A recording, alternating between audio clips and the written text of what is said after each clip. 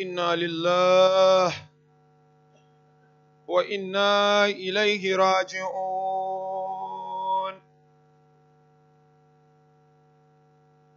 ردا بكدائه وتسليما لأمري.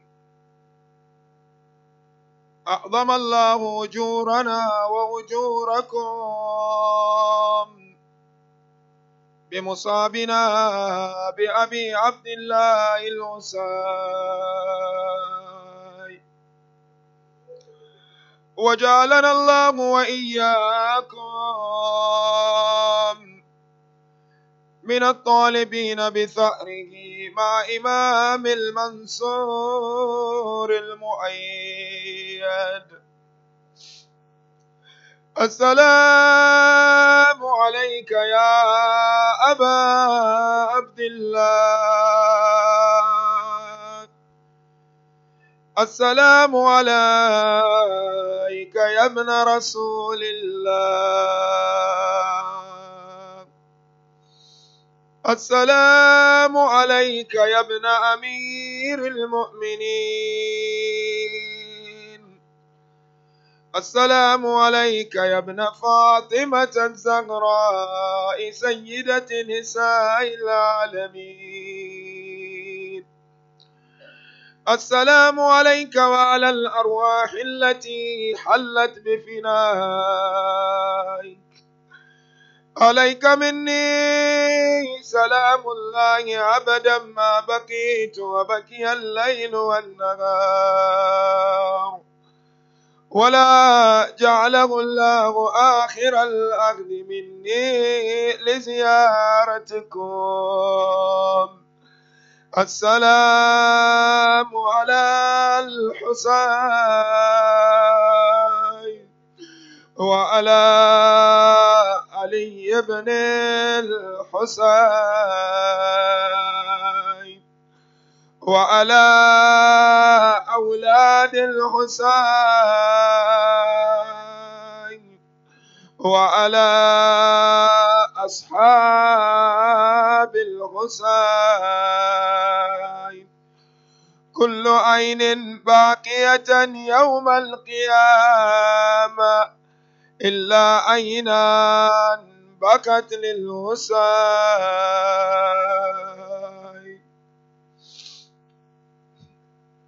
The night of the 11th is arguably the saddest night in the history of Islam.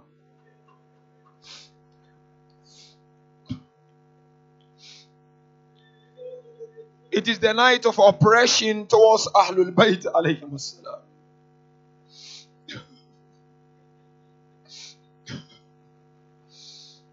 This is the night that heroin scenes took place in the Karbala. But as scholars always mentioned, many people underestimate the oppression that Ahlul Bayt went through on a night like this. Many people do not appreciate what Ahlul Bayt alayhim salam went through on a night like this. What the daughters of Rasulullah and the sons of Rasulullah went through on a night like this. It was the most difficult night. Now the question is, what actually happened on a night like this? I want us to go through this musibah by looking at what actually happened step by step for us to appreciate the difficulties and the pains of Ahlul Bayt on the night of the 11th, especially the pain of Zainab Salamullah. You know, mu'minin and mu'minat, as we are told, the event of Karbala happened in the year 61 AH. That is 50 years after the grandfather of Abba Abdullah left this world. As scholars always mention, 50 years after the man who brought this religion left this world, his grandson was butchered in Karbala. Not only butchered in Karbala, people were willing to mentally and physically torture Aba Abdullah. Many youth ask this question. How did you know all that happened in Muharram and especially on the 10th day of Muharram? So let me take this opportunity to outline where do we get all this musibah from so that I and you are able to appreciate this musibah. The first person that we got this masaib from is Hamid ibn Muslim. Hamid ibn Muslim was a person who was employed by Yazid. And Yazid told him, Don't fight against us or for us, and don't fight against Hussein or the camp of Hussein. What we want you to do, just record whatever happened in the land of Karbala. So that was his job. So some of the narrations we recite to you, we receive from Hamid ibn Muslim. The second source of our information for the Masa'ib of the 10th day of Muharram and Shaame Gharibaan is from the survivors of Karbala. The first survivor is Sayyida Zainab alayhi salam. The second survivor is Imam Zainul Abidin alayhi salam. The third survivor is Imam al-Baqir alayhi salam. And those daughters of Rasulullah and the wives of Al Bayt, we received this information from them. And the third source of information were the enemies.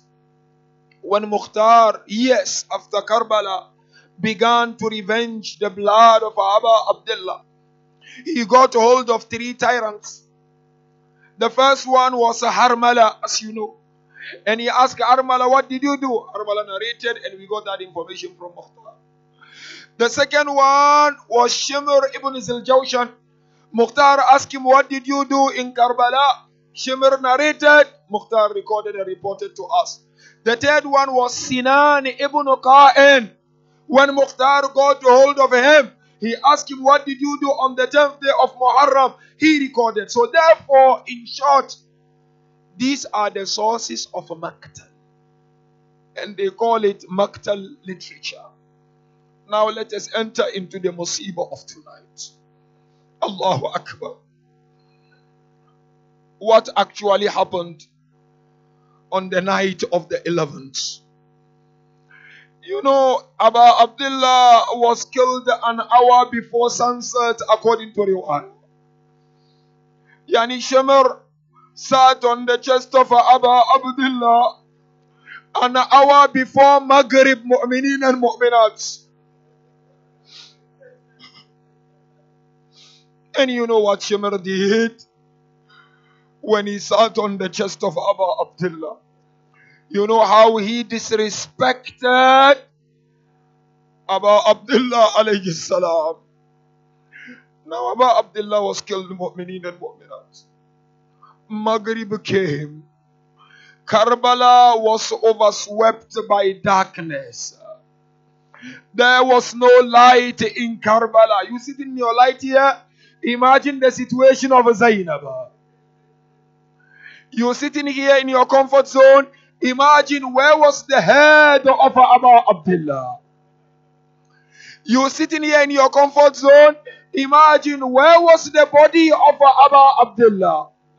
We're sitting here in our comfort zone. Imagine on the night of the 11th, what was the situation of Bibi Sakina? Narration says, Maghrib came. Karbala was swept with darkness. You know, after they brutally butchered Abu Abdullah, the first thing they did was what? Allahu Akbar, Ajrukum Allah. They came and surrounded the body of Abu Abdullah. When they surrounded the body of Abu Abdullah, they began to loot the belongings of Abu Abdullah.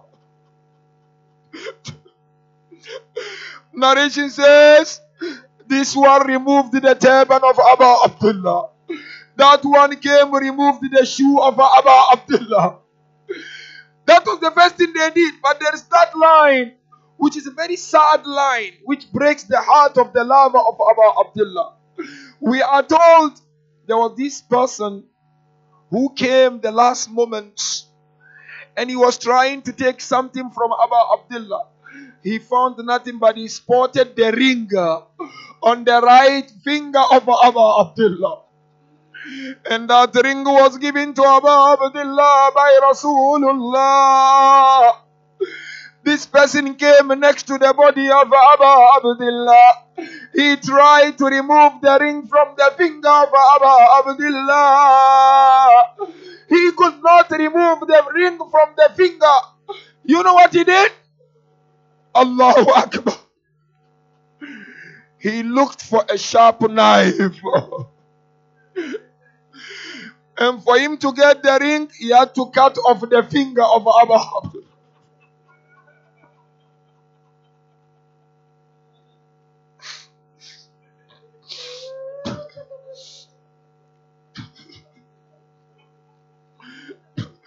That is why one narration said, on the night of the 11th, there was a moment when Bibi Zainab was going around to sort out the bodies. Huh? She stopped and began to cry. Why she stopped? Because she saw that piece of finger of Abba.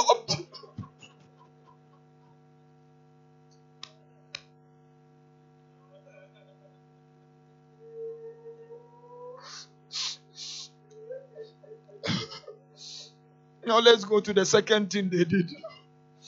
First, they looted the belonging, cut off the finger of Hussein. You know what they did? Umar ibn Sa'ad looked at his companions and he called out, Oh, my companions, go and sharpen the hoofs of your horses. They went and sharpened the hoofs of their horses. And they all came. Umar ibn Sa'd I want you to go and trample on the bodies of the companions of Abu Abdullah. But you know, narration said, for each and every companion of Abu Abdullah had a family member, either direct or distance relationship in the camp of Umar ibn Sa'd. They went to the body of they said, Go to the body of Habib. Habib, members of his family said, No, we killed him, we will not trample his body. They went to Muslim Buna Awsaja. Members of his family said, We killed him, we will not trample on his body. Huh? They went to Ali al Akbar. They said, No, we killed him, we will not trample on his body. Huh? Narration said they kept going one after the other. They realized that almost each and every companion of Abu Abdullah had a family member in the camp of Umar ibn Sa'ad. Then Shimr and Umar ibn Sa'ad look at their companions. They said, Tell me, who does not have a family here? They said, Allah, when we went around, we realized the only one who does not have a family is Hussein.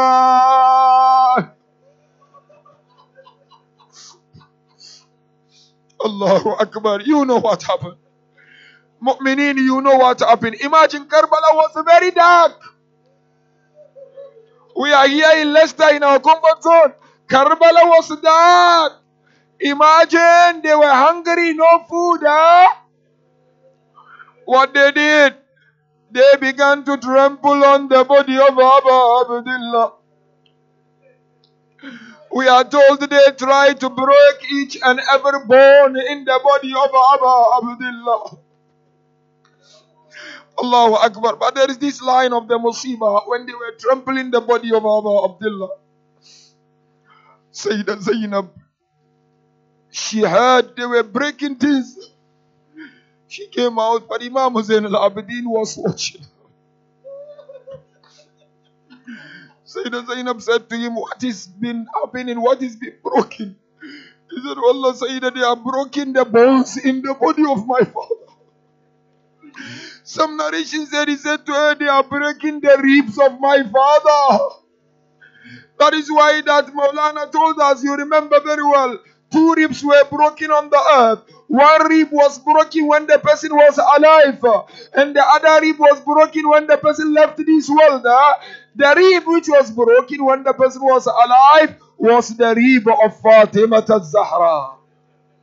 And the rib which was broken when the person had already departed from this world was the rib of Abu Abdullah. Now let's go to the last thing which happened and the final one. They trampled the body of Hossein and they left the body uncovered. You know what was the third thing they did? It was already late in Karbala. Imagine the situation of the daughters of Rasulullah. Imagine the situation of Bibi Sakina. Umar ibn Sa'd called out, I want you to go and burn the tent of Hussein. After trampling the body, the next in order was to burn the tent and Khaymaga. Set fire on it and burn it completely. Allah, they began to head towards the camp of Abu Abdullah. Zainab was the Layla, Ramla, Umm Kulsum, Rubab, Imam Zayn al-Abidin, Imam al-Baqir, Dailam, the wife of Zuhair ibn al-Kain. They were all there in the tent. They begin or they began to burn the tent. They set fire. Fire began to burn and destroy the tent of Ali Muhammad. The ladies were running up and down. Sayyidah Zainab was trying to protect the ladies. Huh? That is why later on, when Mansur al-Dawaniki burnt the house of Imam Jafar, when Imam managed the fire, Imam wouldn't stop crying. Companions of Imam came and asked Imam Jafar, Why can't you stop crying? He said, I've now understood what Sayyidah Zainab went through on Shaame Gharibaan. Allah, Zainab was going up and down to protect the children and the women. Huh? But Sakina, her clothes catch fire from behind. And she was running and the cloth was burning her. She met this man, Hamid ibn Muslim, huh? the one I said we record information from. She asked the man, Are you with us or you're against us? He said, I am neither with you no against you. She said, Oh man, have you read the verse of Quran where Allah said,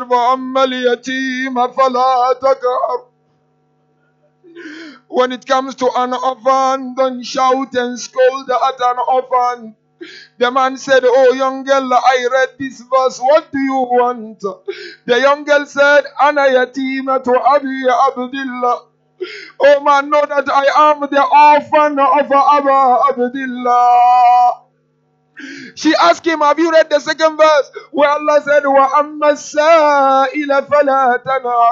When someone asks something, don't deny. He said, Yes, I read what you want. Oh man, can you show me the direction of Najaful Ashrama? Oh Allah, I mean, show them the direction of Najaf al-Ashraf. Eh? Sakina turned a direction towards Najaf eh? and she called out, Assalamu alayka ya Amir al-Mu'minin. Oh grandfather, come and see how they humiliated us. Where were you when they sat on the chest of my father? Where were you when they chopped off the two arms of Abul Fadl al-Abbas? Where were you, father, when they killed Ali al-Akbar? Let me leave you with this last line. As the Khaymaga was burning, Bibi Zainab was going around to protect them. There was a man who began to walk towards the tent where Bibi Zainab was. When Bibi Zainab saw him coming, she asked him, Man, what are you coming for? He said, Allah, I am coming to protect you because I've realized what you are going through is painful. Then Bibi Zainab asked that man, Have you seen a lady around? You know who she was asking about? She was asking about Bibi Rubaba. He said, I've not seen a lady, but I heard the voice of a lady. Said, Can we go and get her? They go there. Bibi Zainab asked Bibi Rabab, Why are you not with us? He said, Zainab, I have a breast milk. I am looking for Asghar to breast.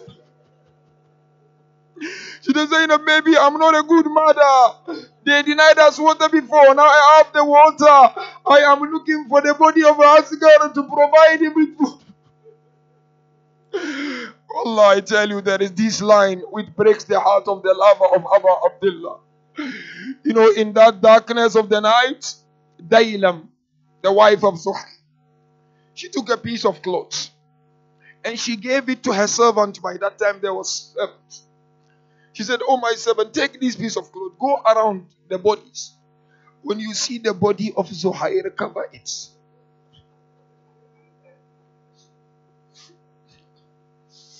Allah, he went around the bodies.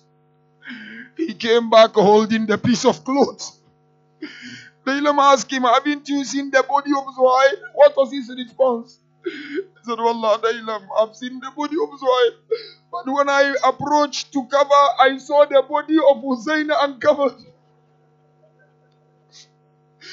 I wouldn't be here to cover Zuhair while Hussein is uncovered.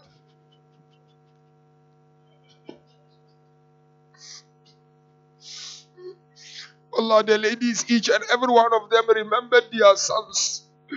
Layla began to remember Ali al Akbar. Ramla began to remember Qasim. Rubab began to remember her beloved Ali al Asghar. But narration says all of a sudden the ladies became tired and they were all sleeping. Only Sayyidah Zainab remained and later on she also fell asleep. But in that sleep, as we are told in the narrations, Bibi Zainab dreamt a man who was wearing black. And when that man appeared, Bibi Zainab said to her, to him, Who are you? The response of that man, he said, Can't you recognize your father? Bibi Zainab said, Father, where were you when they sat on the chest of Musa? Inna lillah. وإنا إليه راجعون. وسيعلم الذين ظلموا آل محمد أي منقلب ينقلبون والعاقبة للمتقين.